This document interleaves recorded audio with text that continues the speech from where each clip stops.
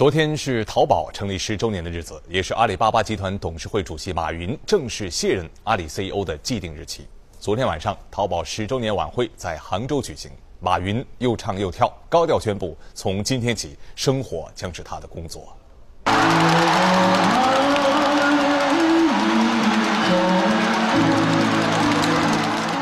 在杭州黄龙体育中心，四十八岁的马云头戴礼帽，身着银色上衣，架着大黑框眼镜，风头无人可敌。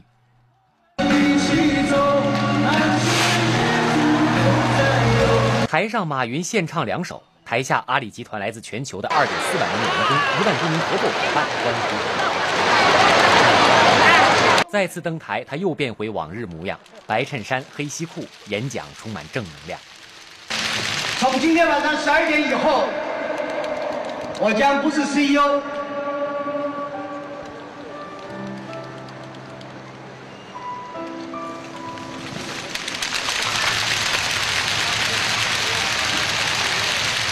从明天开始，商业就是我的票友。我感谢这个变化的时代，我感谢无数人的抱怨。因为在别人抱怨的时候，才是你的机会。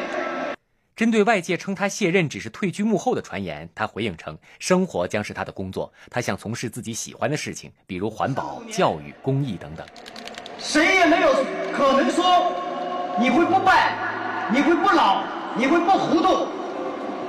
解决你不败、不老、不糊涂的唯一的办法，相信年轻人。相信他们，就是相信未来。所以，我在，我将不会再回到阿里巴巴做 CEO。要回，我也不回来，因为我回来也没有用，你们会做得更好。离别感言约二十分钟，随后马云与新任 CEO 陆兆禧拥抱交接。